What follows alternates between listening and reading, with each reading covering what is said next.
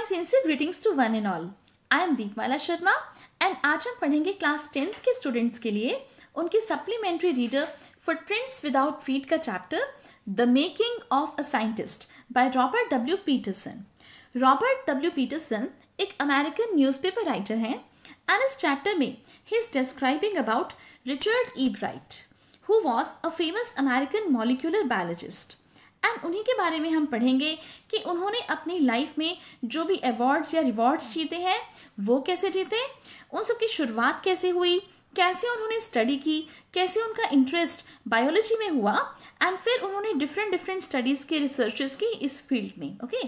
ये सब हम देखेंगे उनके चाइल्डहुड से राइट? तो चलिए स्टार्ट करते हैं तो सबसे पहले जो ये चैप्टर शुरू होता है by the age of twenty two ये जो रिचर्ड ई. ब्राइट हैं, ये एक former scout of the year तो रह चुके थे एंड अपने एक्स रूममेट के साथ उन्होंने एक थियोरी लिखी थी ओके और हाउ सेल्स वर्क इस बारे में, जो कि एक बहुत ही फ़ेमस साइंस जर्नल में पब्लिश भी हुई थी। एंड ये बात काफ़ी बड़ी बात थी। तो जब से रिचर्ड पैदा हुए थे इनका इंटरेस्ट बस रीडिंग में ही था। ये पेनिसिल्वेनिया में रहते थे एंड जितना हो सकता था, उतना ज़्यादा ये पढ़ते ही रहते थे। साथ ही ये एक बहुत ही एक्टिव एस्ट्रोनॉमर भी थे एंड स्टार गेजर भी थे। अलग अलग चीज़ों को ऑब्ज़र्व करना, ये इनको बहुत अच्छा लगता था। लेकिन सबसे ज़्यादा इनको अच्छा लगता था कलेक्शन करना बटरफ्लाइज को कलेक्ट करना। इनको बहुत अच्छा लगता था। तो स्टार्टिंग से ही इनको पसंद था चीज़ों को देखना, उन्हें ऑब्ज़र्व करना एंड उन्हें कलेक्ट करना। तो उनकी जो मदर थी दरअसल, वो भी उनके लिए बहुत सपोर्टिव थी इस मामले में। जब से रिचर्ड के फादर की डेथ हुई थी, उस समय रिचर्ड जस्ट थर्ड ग्रेड में पढ़ते थे। तब से ही उनकी मदर ने उनका बहुत अच्छे से ध्यान रखा। वो उनके इंटरेस्ट की सभी चीज़ें लेकर आती थी उनके लिए। उनको ट्रिप्स पर लेकर जाती थी एडवेंचरस ट्रिप्स पर लेकर जाती थी। उनके लिए सभी तरह के साइंटिफिक इंस्ट्रूमेंट्स वो लेकर आते थे, जैसे टेलीस्कोप माइक्रोस्कोप और और भी बहुत तरह की चीज़ें। एंड शाम को जब ये डाइनिंग टेबल पर इकट्ठे बैठते थे तो वो उन सब नई नई चीज़ों के बारे में रिचर्ड को बताती थी, वो डिस्कस करते थे उन सब चीज़ों के बारे में। रिचर्ड की मदर को ये पता था कि रिचर्ड का नई चीज़ों को लर्न करने में बहुत इंटरेस्ट है। साथ के साथ रिचर्ड की मदर उनके लिए फ्रेंड्स को भी अपने घर पर लेकर आती थी। शी वॉन्टेड कि रिचर्ड के जो फ्रेंड्स हैं, वो होने चाहिए। रिचर्ड रिचर्ड के फ्रेंड्स बने क्योंकि वो बाकी बच्चों से थोड़ा सा अलग था। उसका ध्यान खेल वगैरह में तो वैसे था नॉर्मली लेकिन ज़्यादातर वो रीड करता रहता था स्टडी करता रहता था। So she use to invite them to her home so that Richard की लाइफ थोड़ी ईजी गोइंग हो जाए। रिचर्ड को स्कूल में हमेशा अच्छे ग्रेड्स मिलते थे। By second class he collected 25 species of butterflies जैसा कि आप इस टेबल में देख पा रहे हो, ये वो टेबल है जो कि सेकेंड क्लास में ही जब रिचर्ड पढ़ते थे, तभी उन्होंने 25 स्पीशीज ऑफ़ बटरफ्लाइज को कलेक्ट कर लिया था। तो मैंने आपको ये बताया ही था वैसे भी कि उन्हें कलेक्शन करना अच्छा लगता था। तब रिचर्ड की मदर उनके लिए एक बुक लेकर आई जो कि इसी बारे में थी ओके कि how butterflies migrate from central America किस बारे में थी? कि जो बटरफ्लाइज हैं, वो सेंट्रल अमेरिका से माइग्रेट कैसे करती हैं? इस पैटर्न को स्टडी करने के लिए थी वो बुक तो ये स्टडी करने के लिए जो बुक थी, उसके एंड में एक इनविटेशन था. पहले तो आप इस बुक का नाम देख लीजिए. मैंने सभी इंपॉर्टेंट पॉइंट्स को यहाँ पर हाईलाइट किया है आपके लिए. Travels of monarch ten ten हो सकता है, ये उस बुक का एडिशन होगा ओके टेन तो the travels of monarch X, ये उस बुक का नाम था. एंड वो बुक वो लेकर आई और उस बुक के एंड में एक ओपन इनविटेशन था एक साइंटिस्ट की ओर से कि जो भी इस बुक को पढ़ रहा है, वो बटरफ्लाई पर टैग लगा दे, कोई निशानी लगा दे, ताकि बटरफ्लाइज जो हैं, उनके माइग्रेशन को, उनके बिहेवियर को माइग्रेशन के बिहेवियर को माइग्रेशन के पैटर्न को स्टडी किया जा सके। तो इस तरह का उनका ओपन इन्विटेशन था that was given to everybody जो कोई कलेक्शन कर सकता था टैग लगा सकता था, कोई पहचान कर सकता था बटरफ्लाइज की। एंड ये करने के लिए उनको किसने कहा था? तो ये बहुत ही फ़ेमस साइंटिस्ट थे यूनिवर्सिटी ऑफ़ टोरंटो में कनाडा में ओके डॉक्टर फ्रेडरिक उन्होंने ये करने के लिए कहा था। तो जब रिचर्ड ने ये पढ़ा तो उन्हें लगा कि वैसे तो वो काफ़ी ज़्यादा बटरफ्लाइज कलेक्ट करके बोर हो चुके हैं, लेकिन फिर डॉक्टर फ्रेडरिक के इनविटेशन से वो फिर से ये करने के लिए रेडी हो गए। And started collecting butterflies and tagging them okay लेकिन उनको ये पता था कि अगर वो एक एक बटरफ्लाई को पकड़ के टैग करेंगे तो it will be a very lengthy process बहुत लॉन्ग प्रोसेस हो जाएगी, बहुत टाइम लग जाएगा इसमें। तो उन्होंने काम किया उन्होंने फीमेल मोनाक्स को इकट्ठा इकट्ठा किया ओके फीमेल मोनाक्स आप सोच सकते हो कि एक तरह की बटरफ्लाइज ओके जो कि ब्रीड करेंगी, क्योंकि फीमेल मोनाक्स है तो वो ब्रीड करेंगी एंड उन्हें उन्होंने अपने घर के बेसमेंट में रख लिया। इस तरह पहले वो बटरफ्लाइज ब्रीड करेंगी then they will lay eggs obviously okay और फिर वो प्यूपा और जैसे मान लीजिए वो बटरफ्लाई में फिर वो कन्वर्ट हो जाएँगी एंड इस तरह से वो फ्लॉक ऑफ़ बटरफ्लाइज इकट्ठा कर पा कर पाएँगे। तो उन्होंने ये प्रोसेस स्टार्ट कर दी। फिर वो उनको टैग करते।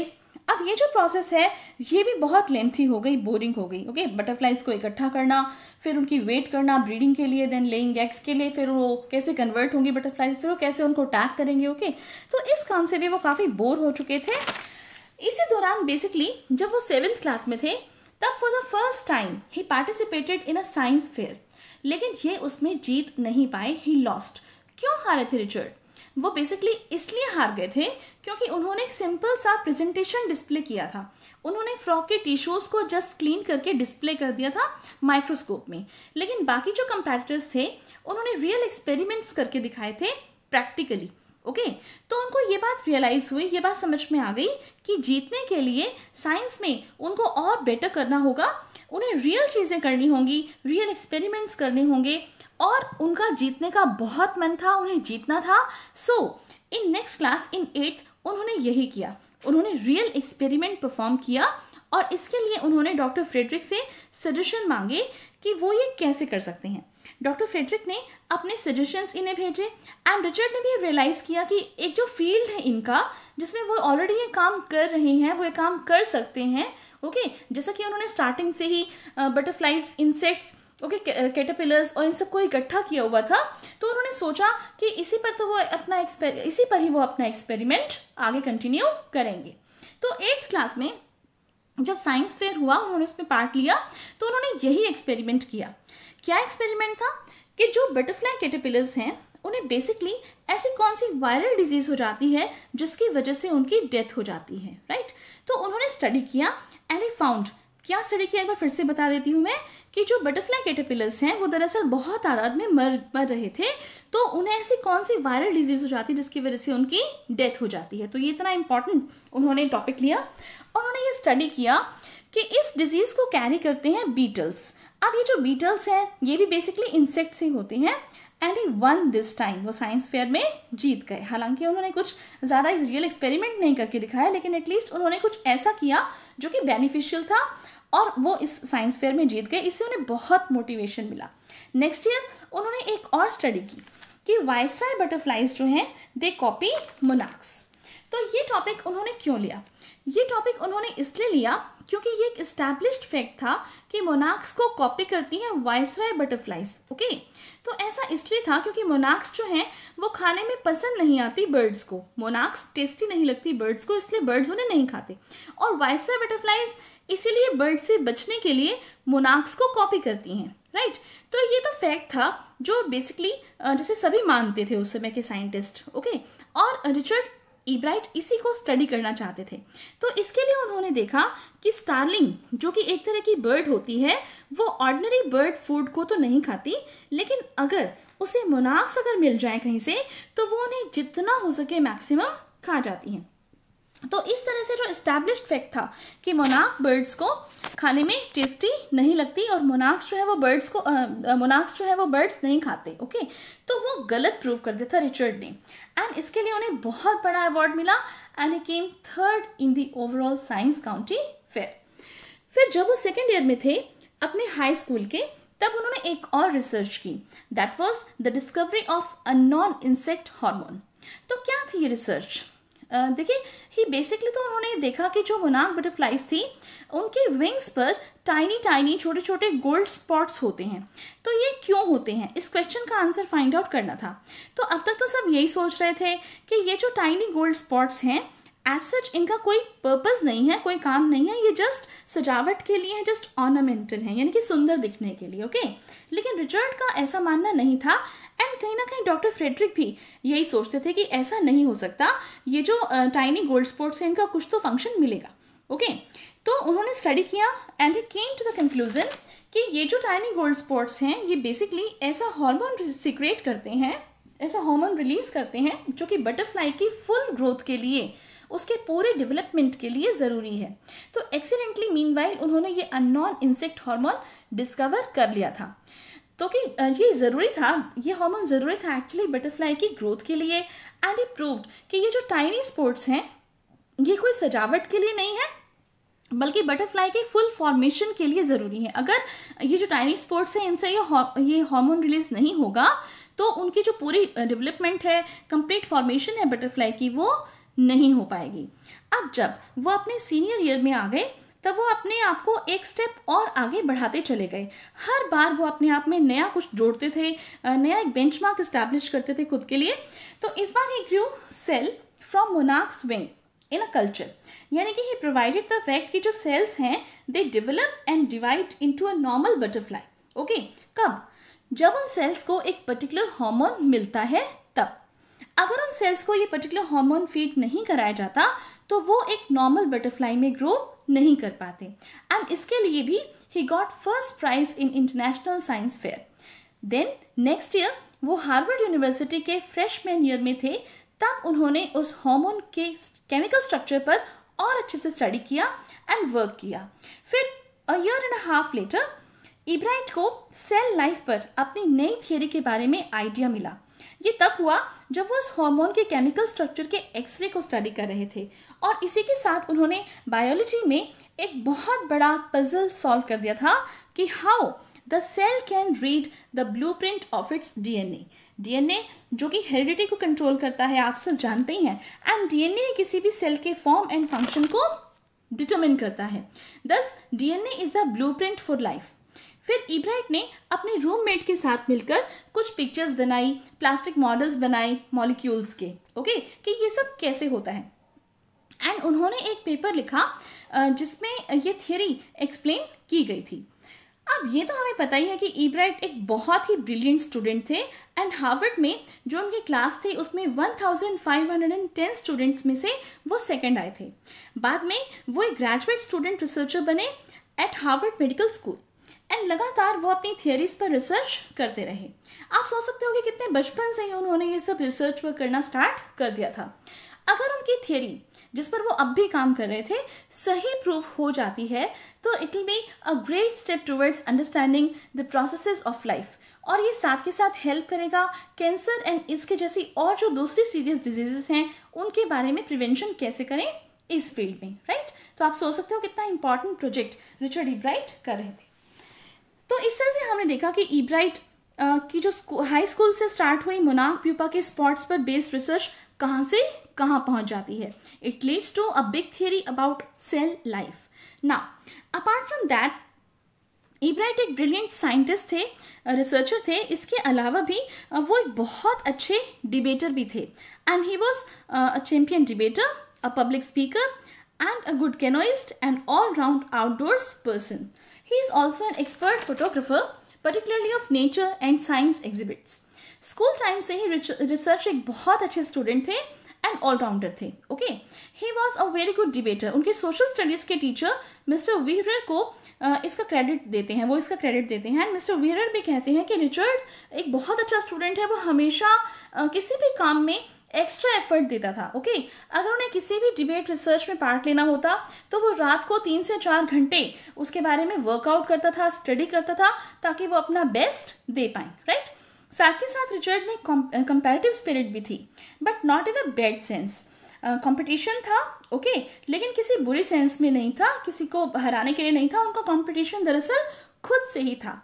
वो किसी फ़िज़िकल अवार्ड या रिवॉर्ड के लिए कम्पीट नहीं करते थे, बल्कि खुद के लिए ही वो हर दिन, हर बार नए बेंचमार्क्स इस्टेब्लिश करते जा रहे थे एंड इसीलिए वो लाइफ में इतना कुछ अचीव कर पाए।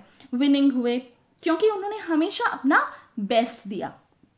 एंड यही सब बातें हैं जो रिक्वायर्ड हैं in the making of a scientist आपको ऑब्ज़र्व करना है चीज़ों को देखना है ध्यान से क्यूरियोसिटी होनी चाहिए आप में उत्सुकता होनी चाहिए एंड uh, ऐसा है तो कैसे है वैसा है तो कैसे है ये सब चीज़ें ये सब क्वेश्चंस आपके माइंड में चलने चाहिए उसके लिए फिर आपने एफर्ट करना है वर्क करना है एंड ई ब्राइट में ये सब क्वालिटीज़ जो थी तब से जब से he got that particular book the travels of Monank tenth from his mother जिसने ओपन किया वर्ल्ड ऑफ़ साइंस उनके लिए एंड रिचर्ड ने भी अपनी साइंटिफिक क्यूरियोसिटी को कभी लूज नहीं किया। एंड एक बार फिर से मैं आपको बताना चाहती हूँ उस बुक का नाम, क्योंकि एग्ज़ाम पॉइंट ऑफ़ व्यू से इंपॉर्टेंट है। यही वो टर्निंग पॉइंट था दरअसल रिचर्ड की लाइफ में। इस बुक की वजह से जो आया था कि he became a great scientist okay so this book the travels of Monank tenth has great role in the making of a scientist so it was all about the explanation of the chapter I hope आपको ये chapter समझ में आया होगा। हालाँकि कुछ इसमें difficult words हमें देखने को मिले हैं। जैसे मान लीजिए, क्योंकि साइंटिफिक वर्ड्स हैं, कुछ ऐसी थियरीज के नाम हैं ओके तो आप एक बार फिर से मेरी वीडियो देख लेना। बार बार मेरी वीडियो देखना। आपको बिल्कुल अच्छे से स्टेप बाय स्टेप सारी बातें क्लियर हो जाएँगी।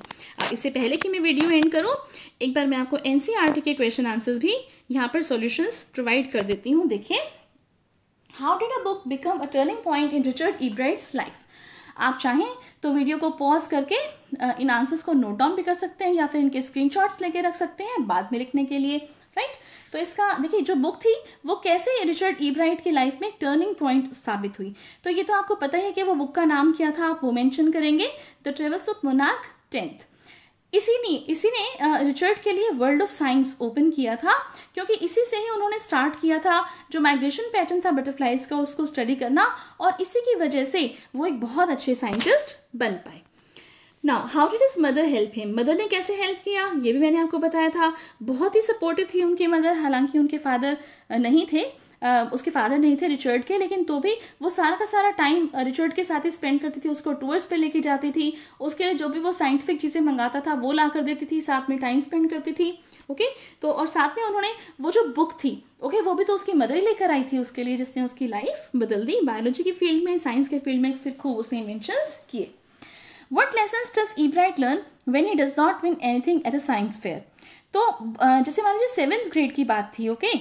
जब ई ब्राइट को कोई प्राइज़ नहीं मिला साइंस फेयर में पार्टिसिपेट करने के लिए तो उस समय ई ब्राइट ने इसे क्या सीखा? ई ब्राइट ने दरअसल इसे ये सीखा था कि उसे साइंस में अगर कुछ करना है अच्छा तो उसको रियल एक्सपेरिमेंट करने पड़ेंगे प्रैक्टिकली कुछ करके दिखाना पड़ेगा, क्योंकि उसने जो वो जो एग्जीबिशन थी उसमें जस्ट उसने डिस्प्ले कर दिया था फॉके टिश्यूज को, कि तो सिंपल एक्सपेरिमेंट से काम नहीं चलेगा। He had to do something real and he did the next year what experiments and projects does he do then undertake okay तो उसने कौन से प्रोजेक्ट्स पर अंडरटेक किए थे? तो ये मैंने आपको बताया था वाइस बटरफ्लाइज के बारे में कि वो कॉपी करती है मोनाक्स को। इसे उन्होंने रॉन्ग इस्टेब्लिश किया। फिर उन्होंने ये बताया कि जो स्पॉट्स हैं ओके जो टाइनी टाइनी स्पोर्ट्स हैं वो क्यों हैं मोनाक के ऊपर ओके तो वो उन्होंने बताया कि ये केवल ऑर्नामेंटल नहीं है, सजावटी नहीं है, बल्कि इनसे क्या निकलता है? हॉर्मोन निकलता है, जो कि इनकी फुल फॉर्मेशन के लिए ज़रूरी है। और साथ में उन्होंने डीएनए पर भी काम किया कि जो डीएनए जो है वो बेसिकली बहुत इंपॉर्टेंट है किसी भी सेल के स्ट्रक्चर के लिए, वही डिटर्मिन करता है किसी भी सेल को। Now what are the qualities that go into the making of a scientist अब ये जो क्वेश्चन है, ये सबसे इंपॉर्टेंट है, और आप इसे एक्सप्लेन करेंगे with the help of my explanation and some more examples by quoting in it okay तो ये इसेंशियल क्वालिटीज जो हैं, ये देखिए फ़र्स्ट रेट माइंड होना चाहिए आप में प्रेजेंस ऑफ़ क्यूरियोसिटी होनी चाहिए और सबसे ज़्यादा जो है एक विल पावर होनी चाहिए to do the best and win so it was all about this chapter we did a detailed summary and explanation of the chapter and I also provided you the solutions of all the important questions NCRT based. Okay. Now that's it. Thanks a lot for watching. Thank you so much and please don't forget to like my video, share it with your friends and do subscribe to my channel if you are not done yet. Thanks a lot once again.